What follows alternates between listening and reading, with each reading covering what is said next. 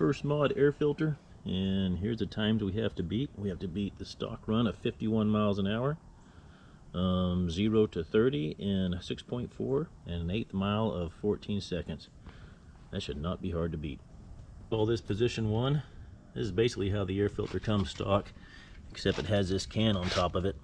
Um, you can take this rubber clamp off, remove it, push the rubber through that hole, and your air filter's inside this can.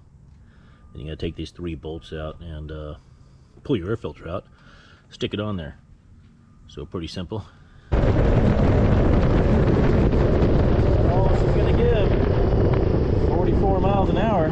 Results in filter position one are pretty pathetic. Um, looks like I'm gonna have to do the carburetor adjustment with the filter because I can't get the damn thing to run 44 miles an hour. So I lost uh, what is that? Seven miles an hour. So if you don't want to undo all your wiring you can just pull this enriching jet out um, and leave it hanging. And the fuel hose I disconnect the fuel hose a little bit further down the line because it's hard to get in there to this thing on the 150 I just pinch it off here to uh, keep the fuel from all draining out.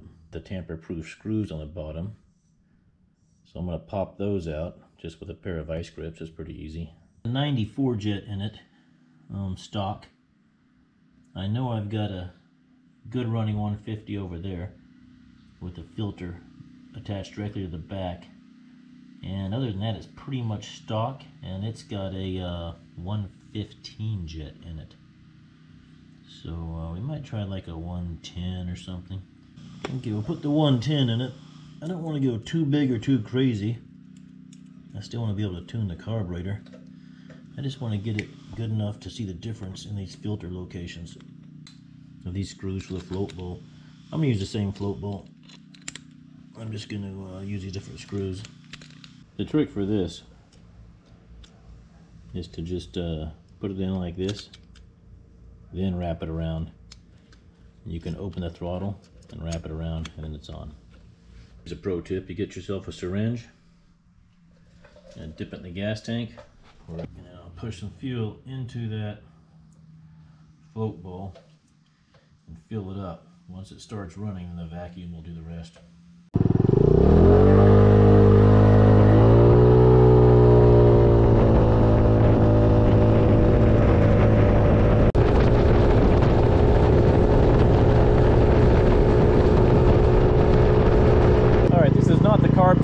Video. I just put that 110 jet in there to get this thing to run good so we can do the filter test. I just want to get the fastest of the uh, three, the two filter positions, or the three, considering stock.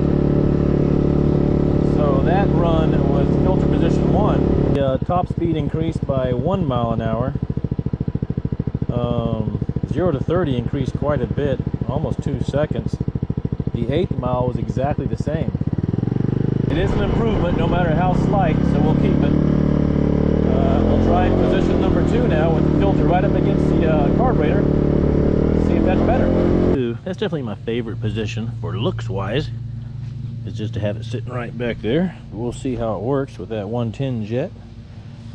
And uh, we're going to be able to tune that carburetor to get a lot more speed out of this.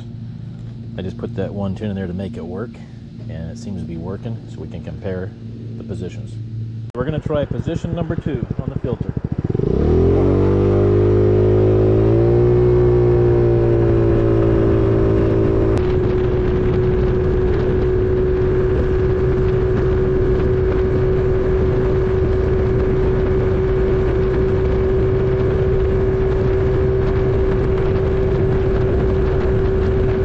Position two was better than position one.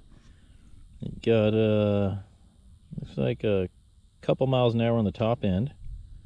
Um, another second off on the 0 to 30, but was a little bit slower by 0.4 seconds, so that could be an anomaly in the eighth mile, which I'm glad because I like position two, and I think I'll keep it in that position.